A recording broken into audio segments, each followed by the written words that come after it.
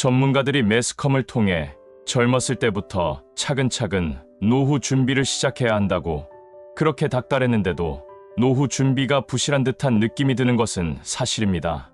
돈 문제 말고는 다른 이유가 없다고 생각하는 분들도 많지만 사실 경제적인 문제가 노후 준비를 못하는 유일한 원인이 아니라는 것이 문제입니다. 꽤 잘 벌고 여유 있게 살고 있어도 노후 준비에 게으르거나 못하고 있는 사람들이 많기 때문이죠. 그래서 오늘은 마음 졸이고 불안해하면서도 청개구리 마냥 대체 왜 노후 준비를 안 하는지 그 이유에 대해 그리고 노후 준비가 아직 잘 되지 않았거나 노후 준비를 제대로 못하셨다면 왜 그렇게 되었는지에 대해서 말씀을 한번 나눠보고자 합니다.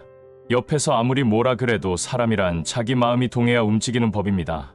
노후 준비도 마찬가지가 아닐까 싶습니다. 그러나 전문가가 뭐라 하든 언론이 난리 법석을 떨어도 금융기관이 그냥 거지될 것처럼 겁을 줘도 피부에 와닿지가 않죠. 그리고 자녀들 교육비 등 발등에 떨어진 불부터 끄다 보니 먼 훗날에 나올 것 같은 노후 준비를 위한 준비는 늘상 뒤로 밀리기 일수입니다. 하지만 현실은 늘 예상보다 먼저 닥치기 마련입니다. 우물쭈물하다가 내 이럴 줄 알았다는 탄식이 절로 나올 그 가혹한 상황은 언제나 일찍 우리를 찾아옵니다. 개인들마다 사정이 좀 다르긴 하지만 전문가들이 꼽은 노후 준비에 게으르게 되는 대표적인 세 가지 심리에 대해서 말씀드리고자 합니다. 전문가들이 말하는 노후 준비를 안 하는 첫 번째 이유. 그때가 되면 또 어떻게 되겠지 하는 막연하고 위험한 낙관주의 때문입니다. 지금까지 고비를 잘 넘기고 살아왔으니 은퇴한 이후에도 궁여지책으로라도 방법이 생겨서 별 무리 없이 살게 될 거라는 위험한 낙관주의가 우리 마음에 도사리고 있습니다. 두 번째 이유는 모르겠다는 식의 반포기 심정입니다. 노후 준비를 하고 싶어서 좀 이것저것 들여다보고 여기저기 알아보면 알아볼수록 사람을 포기하게 만들기도 하죠. 은퇴하고도 남은 3, 40년을 살려면 사는 집을 제외하고도 현금 10억이 있어야 한다. 20억이 있어야 한다. 이런 말들 많이 듣게 됩니다. 이런 얘기를 들으면 사실 입안에서 쓴맛이 나기 시작하면서 될 대로 되라는 식의 심정이 앞서고 노후 준비라는 얘기만 들으면 일부러라도 외면하게 됩니다. 세 번째 이유로는 그래도 은근히 자식들에게 기대를 걸어보는 심리가 남아있다는 것입니다. 밑빠진 독에 물 붓기 투자 수익률을 생각하면 절대 할 수 없는 투자, 결국 회수할 수 없는 매몰 비용으로 설명되는 것이 자녀 교육 비용입니다. 합리적이고 이성적으로 그리고 머리로만 생각한다면 도저히 지출할 수 없는 돈이죠. 자식 덕 볼 생각이 손톱만큼 없다고 하지만 사실 마음 한구석에는 그래도 내 자식들은 키워준 부모 나몰라라 하지는 않겠지 하는 은근한 기대 심리가 마음 한구석에 있다고들 합니다. 노후 설계 전문가들이 경제적인 문제를 떠나 우리가 노후 준비에 게으르게 된 이유를 이렇게 세 가지를 말씀드렸는데 사실 이게 전부 다가 아닙니다. 우리 뇌의 작동 원리도 노후 준비를 방해하는데 아주 큰 역할을 한다고 합니다. 심리학자들의 연구에 따르면 자신에 대해 생각할 때는 우리 뇌의 전두엽에 불이 켜진다고 합니다. 스파크가 일어나면서 엄청 쌩쌩 돌아가는 거죠. 반대로 다른 사람에 대해서 생각할 때는 이 전두엽이 전혀 반응하지 않습니다. 내 자신이 아니라 남의 얘기이기 때문이죠. 그렇게 바쁘게 머리를 굴릴 필요가 없는 겁니다. 그런데 이상하게도 미래에 은퇴한 이후에 자신에 대해서 생각할 때도 남 생각할 때와 똑같이 전두엽이 전혀 반응하지 않는다고 합니다.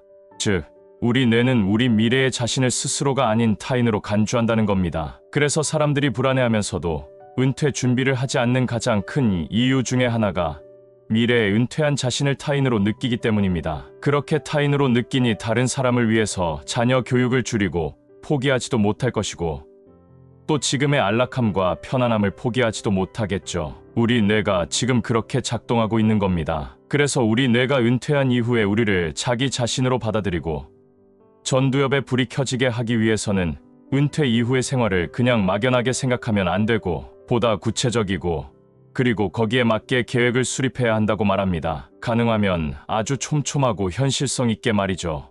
더 구체적일수록 우리 뇌는 더 열심히 작동해서 현실감을 되찾을 것이고 그때서야 비로소 자식 뒷바라지에 최선을 다한 자랑스러운 부모가 되고 싶어 자식이나 본인에게 모두 실익이 없는 그 비용을 쏟아 부을지 아니면 이제부터라도 그 비용에서 조금 떼어내서 착실하게 노후 준비를 시작할지 이성적으로 그리고 현명하게 판단할 수 있게 됩니다. 감정은 너무도 개인적이어서 사람마다 다 다르기도 하지만 특히 자식 앞에서는 그 힘이 더 막강해집니다. 그래서 전문가의 경고가 막 날아들어도 코웃음을 치고 자식에게 몰빵하다시피 하는 겁니다. 하지만 분명한 것은 우리의 뇌가 미래의 내 자신을 다른 사람으로 인식하는 상태에서는 그 어떤 은퇴 준비라도 남의 일이 될 수밖에 없고 또 한다고 해봐야 느슨해져서 늘상 다른 일에 우선순위가 밀려나기 일수라는 사실입니다. 주위에서 떠드는 10억 이내, 20억 이내 그런 소리에 기죽지 말고 좌절하지 말고 내 나름대로의 은퇴 준비를 차근차근 해나갈 수 있기 위해서는 구체적인 목표와 설계가 필요합니다. 그래야 우리 뇌가 자기 일로 받아들이고 쌩쌩하게 돌아가기 때문입니다. 미래의 새 은퇴연구소가 실시한 한 조사에 의하면 퇴직자의 66%가 예상했던 시기보다 훨씬 빨리 퇴직하게 되었다고 답했다고 합니다. 그런데 냉철하게 생각해보면 이런 갑작스러운 퇴직은 진짜로 전혀 예상하지 못한 것일지 일부러 예상하지 않은 것일지는 정확하게 알 수 없습니다. 지금 당장의 경제적인 상황도 그리 넉넉하지 않은 이유도 있겠지만 앞서 말씀드린 것처럼 막연한 낙관주의적 생각이나 이래도 저래도 어쩔 수 없다는 포기 심리, 또 은근히 자식에게 기대를 하는 마음과 더불어 함께 구체적이지 않은 은퇴 계획이 남의 일처럼 받아들이게 되고 그래서 결국 우리가 노후 준비를 하지 못하게 한다는 결론이 나오는 거죠. 오늘 영상을 보신 모든 분들도 이제는 지금이라도 늦지 않았기에 아무리 노후가 찾아왔어도 지금부터 구체적인 계획을 현실성 있게 차근차근 노후 준비를 해나가시면 후회 없는 인생이 이루어지실 것이라 믿습니다.